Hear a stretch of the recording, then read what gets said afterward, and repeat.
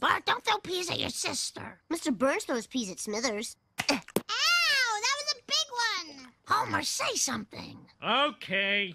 Lisa, quit getting in the way of your wealthy brother's peas. Oh, yuck, meatloaf. My most hated of all loafs.